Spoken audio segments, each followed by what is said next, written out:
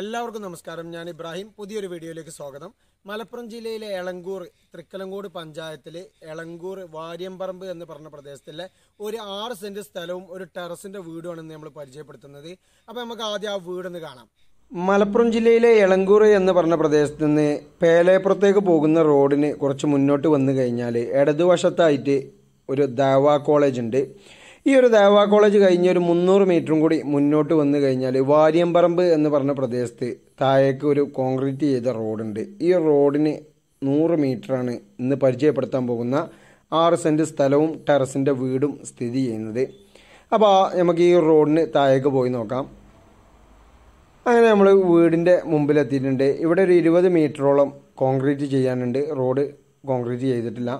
ഈ ഒരു മുൻവശത്തായിട്ട് കാണുന്ന ടെറസിന്റെ വീടാണ് ഇന്ന് നമ്മൾ പരിചയപ്പെടുത്തുന്ന ആറ് സെന്റ് സ്ഥലവും വീടും. ആദ്യം വീടിന്റെ പുറകുവശം കാര്യം അതിരും കാര്യങ്ങളൊക്കെ ഒന്ന് കാണാം.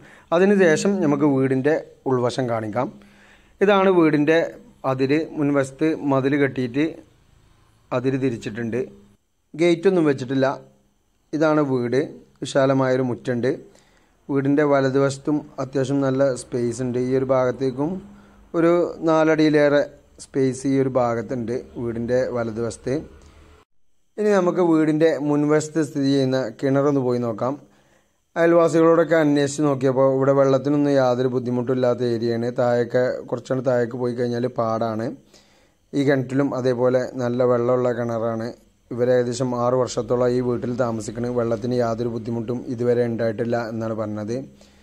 ഈ ഒരു വീടിന്റെ ഇടതുവശത്ത് ഏകദേശം എട്ടടിയിലേറെ പത്തടിയോളം സ്പേസ് ഈ ഒരു ഭാഗത്തുണ്ട്. നമുക്ക് ഇതിലൂടെ ഒന്ന് പോയിട്ട് അടുക്കള വശം ഒന്ന് നോക്കാം. ഈ ഒരു ഭാഗത്തായിട്ടാണ് ഇവർ അലക്കുകല്ല് വെച്ചിട്ടുള്ളത്. വീടിന്റെ പിറകുവശത്ത് അതായത് തൊട്ടപ്പുറത്തെ തൊടിയിൽ ഒരുപാട് കൃഷികളൊക്കെ ഉണ്ട്. വാഴയായിട്ടും മറ്റും ഒരുപാട് കൃഷി ചെയ്യുന്നുണ്ട് ആ ഭാഗത്ത്. ഇതാണ് അടുക്കള വശം. ഇവിടെ അത്യാവശ്യം നല്ല സ്പേസ് ഉണ്ട്. മഴ നനയാ ചീറ്റിലടിക്കാതിരിക്കാൻ വേണ്ടിയിട്ട് ഈ ഒരു ഭാഗത്ത് ടാർപോളിയും വലിച്ചു കെട്ടിയിട്ടുണ്ട്. ഇതാണ് അടുക്കള വശത്തെ മുറ്റം. ഇനി നമുക്ക് വീടിന്റെ ഉൾവശം ഒന്ന് കാണാം.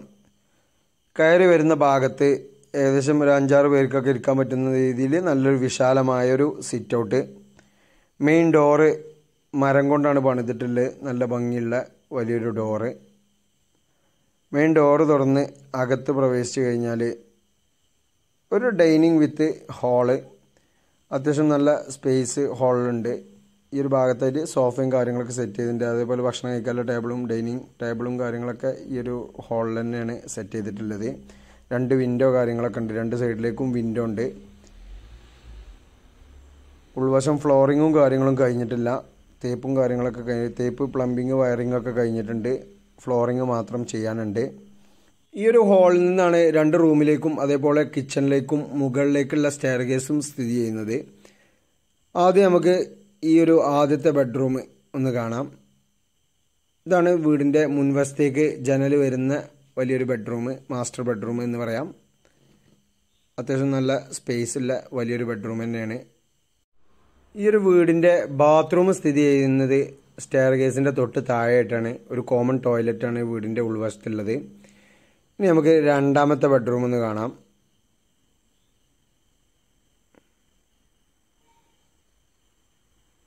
ഇതാണ് രണ്ടാമത്തെ ബെഡ്റൂം നല്ല വിശാലമായ വലിയൊരു ബെഡ്റൂം തന്നെയാണ് ഇതും. രണ്ട് ഭാഗത്തേക്കും വിൻഡോ ഉണ്ട്.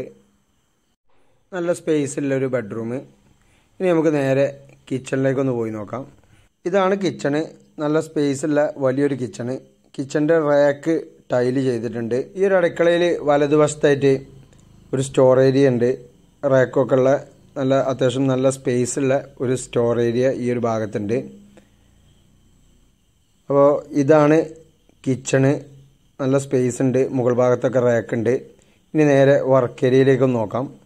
ഇതാണ് വർക്ക് ഏരിയ വർക്ക് ഏരിയയുടെ ഫ്ലോറിങ്ങും അതേപോലെ വാളൊക്കെ ടൈൽ ചെയ്തിട്ടുണ്ട്. ഇവിടെ ഒരു സിങ്ക് ഉണ്ട് അതേപോലെ വിറകടുപ്പ് ഉള്ളത് വർക്ക് ഏരിയയിലാണ് അത്യാവശ്യം നല്ല സ്പേസ് ഉള്ള ഒരു വർക്ക് ഏരിയ വർക്ക് ഏരിയയിൽ നിന്ന് നേരെ പുറത്തിലേക്കുള്ള ഡോറ് ഇരുമ്പ് കൊണ്ടാണ് ഇൻഡസ്ട്രിയൽ വർക്ക് കൊണ്ടാണ് നിർമ്മിച്ചിട്ടുള്ളത്. അപ്പൊ ഈ ഒരു ആറ് സെന്റ് സ്ഥലവും ഒരു ടെറസിന്റെ വീടുമാണെന്ന് നമ്മൾ പരിചയപ്പെടുത്തിയത്.